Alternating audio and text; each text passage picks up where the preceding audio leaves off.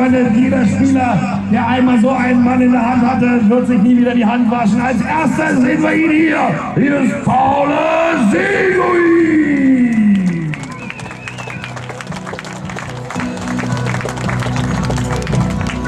Er war immer die Nummer 1 und ist es heute auch geblieben.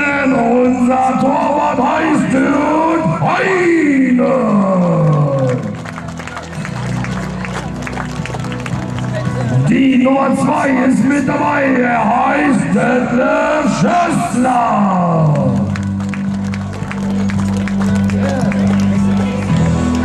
Die Nummer 3, Heiko hat schon richtig Angst vor mir und vollständig heißt er Heiko Weber. Die Nummer 4 hat einen klangvollen Namen und er heißt Mike Klenge. Ein relativ unbekannter Spieler hier im Hölzchen steht hier direkt vor mir. Wir begrüßen ganz recht herzlich Henry Berg. Ja,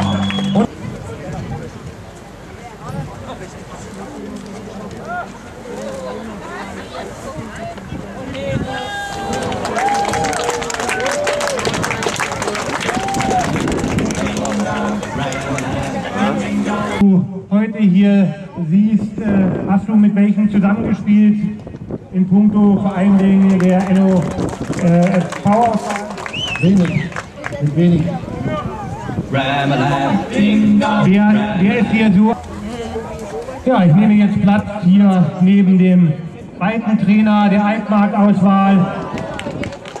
Meine Herren, war das ein Schuss. Thomas, ich muss dich ganz kurz unterbrechen. Ein Hammerschuss durch die Nummer 5. Durch Henry Berg. äh, deutlich äh, vorher gemacht worden ist. Ja, äh, man darf nicht vergessen, wir kommen aus Stockholm, in ein 200 Seelendorf.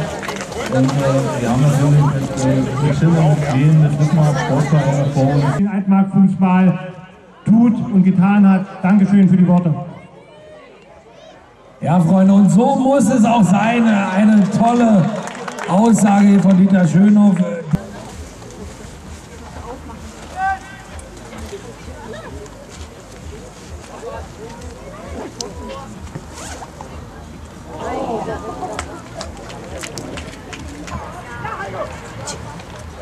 schießt.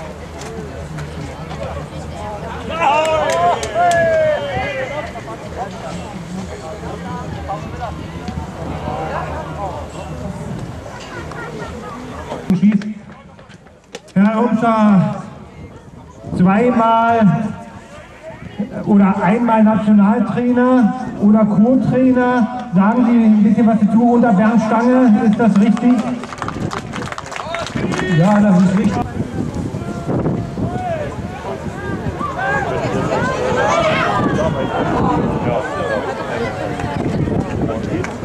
Ja, mit einer Glanzparade verhindert hier Sportfront Heine das Schlimmste. Ich weiß es jetzt ja nicht, du kannst jetzt nicht beschreiben, ob da jetzt wirklich das Pferd drin ist, weil der ja immer so immer der, der immer nicht Ja, ich hatte ja schon zu Beginn des Spieles gesagt, äh, es gab ein wunderbares Treffen beim letzten Spiel der deutschen Nationalmannschaft gegen Armenien, als die Mannschaft dann nach Brasilien verabschiedet wurde.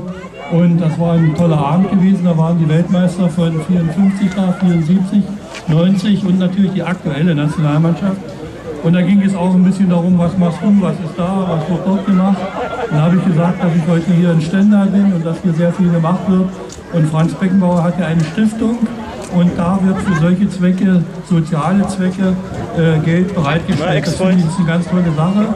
Und da hat der Franz Beckenbauer für die blauen Herzen hier in Stendal für heute und das JWG mit gern 1000 Euro zur Verfügung gestellt. Ich denke, das ist einfach wert. Ja, also wirklich Hammer. Also erstmal toll von der Franz Beckenbauer Stiftung und auch äh, toll von Dr. Mollenhauer, dass er an seinem solchen Event sich für die blauen Herzen eingesetzt hat und die sind aus Havelberg. Herzlichen Glückwunsch für euch. Verwendet das Geld natürlich gut Und vielen Dank, dass so etwas heute hier auch mal publik wird. Ansonsten bekommt man sowas ja manchmal gar nicht mit. Deine Tochter geht zur Schule oder? Dann musst du morgen zur Schule. Dann musst du... Dann gehst du mit deinem Papa los, ne?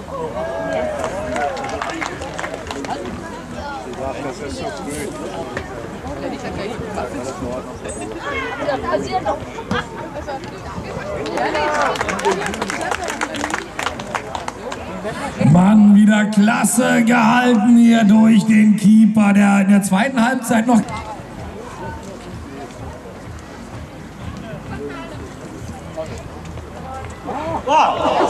weiß nicht, wo ich ihn versteckt habe. Toll. Paul, nochmal jetzt mit dem Profivertrag. Das ist ja sowas, was mich mal interessiert. Wie passiert denn sowas? Kriegt man da auf einmal einen Anruf und jemand sagt, du komm mal zum Chef ins Büro, wir wollen mal mit dir reden oder wird man irgendwie darauf vorbereitet oder wie passiert sowas, wenn man diese Chance kriegt, so einen Vertrag zu bekommen? Ja, in allererster Linie ähm, muss man halt Leistung zeigen in, in der A-Jugend und das habe ich, denke ich, gemacht. Und ähm, dann kam halt ähm, die Frage vom Trainer von der Ersten, ob ich da mal mittrainieren möchte. Ich habe natürlich ja gesagt und ja, ich habe ihm wahrscheinlich dann gefallen und habe dann sozusagen halt meinen ersten Profivertrag bekommen. Ja, aber äh, nur noch mal die Szene sozusagen, weißt du? Kommt der dann zu dir, der Trainer, und sagt, du Paul, äh, du kriegst jetzt einen Vertrag oder wird man da so reingebeten und ist total überrascht? Ähm, ja, man ist schon überrascht. Also man kriegt dann halt gesagt, ja, wir wollen mit dir den Vertrag verlängern, möchtest du das? Und dann lässt du dir das halt durch den Kopf gehen und überlegst. Und ich habe nicht lange überlegt und habe ja gesagt.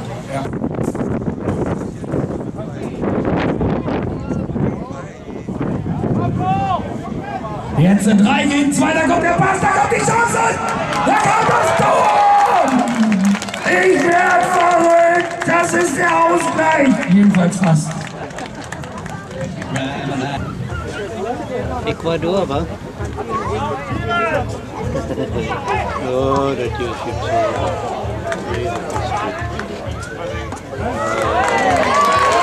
Und jetzt sehen wir das 2 zu 0 für die Heidmark-Auswahl.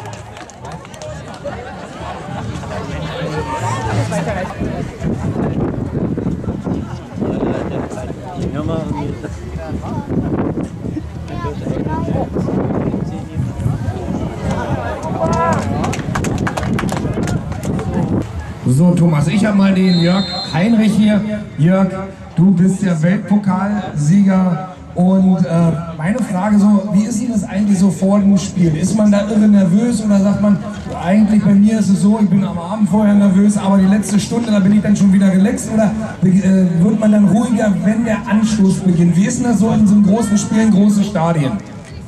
Also nervös war ich, glaube ich, vom ersten Bundesligaspiel. Das ist ja schon eine Weile her, aber daran kann ich mich noch erinnern, als es das erste Mal wirklich losging in der großen Bundesliga. Und sicherlich Finale, ob das äh, Deutsche Meisterschaft ist oder Champions League, da macht man sich dann schon nochmal Gedanken. Äh, Das ist dann sicherlich anders als heute. Was mir auffällt, die Grün-Weißen hier immer in Überzahl. Leider kein Tor mehr. Der Schiedsrichter hat abgepfiffen. Dankeschön an beide Mannschaften zum Spiel. Hier anlässlich 20 Jahre KV Altmark Ost. Frank, du hast sicherlich den Spielstand genau aufgeschrieben.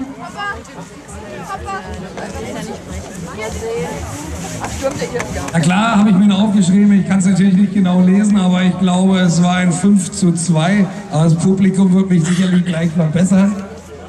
Sehe ich Proteste? Nein, also 5-2 äh, werden wir mal äh, so in das Geschichtsbuch schreiben.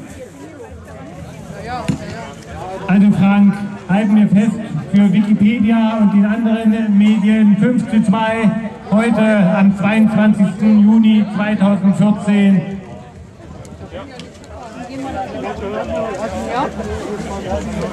Äh, hallo lieber Dirk, ich, ich bin jetzt 45 Jahre, ich weiß, man sieht es mir nicht an, aber trotzdem, du warst einer meiner